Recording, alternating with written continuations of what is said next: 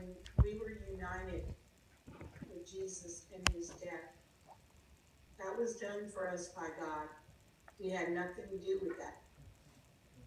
And um, what it's actually doing for my heart is it's causing me to see more than what I saw before because I was always looking for a manifestation um, of the truth that I believed.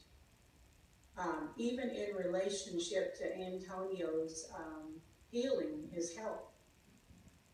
And so here recently, I just wanted to share this with you guys that um, the Father has been showing me how my husband's death did not that did not mean that he didn't believe. Uh, this is what the Lord said to me. He says, My death was a declaration of how much I believed. Mm.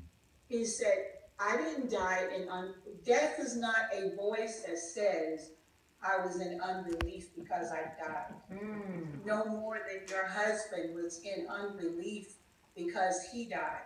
He said the proof of my belief was made evident in my resurrection. Yeah. And this is what he was talking to me about is my union with him and how I was united with him in his death. And he says, when he was raised, I was also risen with him in his resurrection.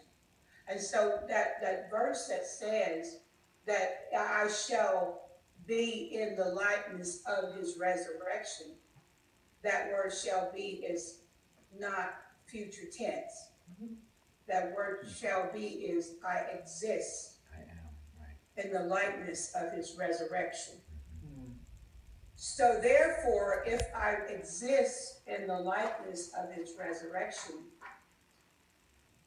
that is the image, that is the picture, that is the manifestation of who I am. Jesus is the manifestation of who I am because I am one with him. I don't need an outward manifestation in this world to prove mm. to me oh, that I am healed. Mm-hmm. Or that you believe. Because, right. That I believe because he proved it. He's mm. already done that. And so my search for manifestations have ended. Mm. I know that manifestations will happen, but I'm not looking for them anymore because I have seen the manifestation of who I am already, and it's now my belief.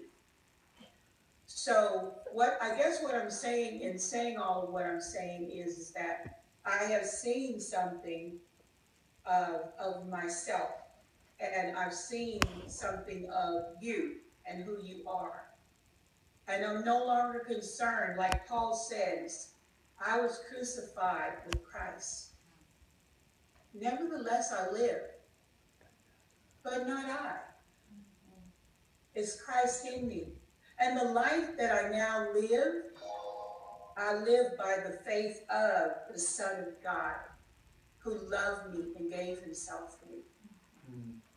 God has made that to be my reality. Mm-hmm. And from there is where I'm living from this, from, from not today, but from when the reality that my husband's death was not a declaration that he did not believe anymore than Jesus dying on the cross was a declaration mm-hmm. that he couldn't believe God to deliver him.